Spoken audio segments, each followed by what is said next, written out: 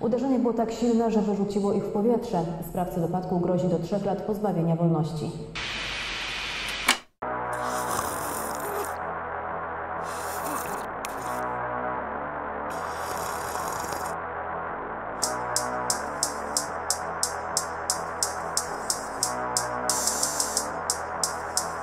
Back beat right now.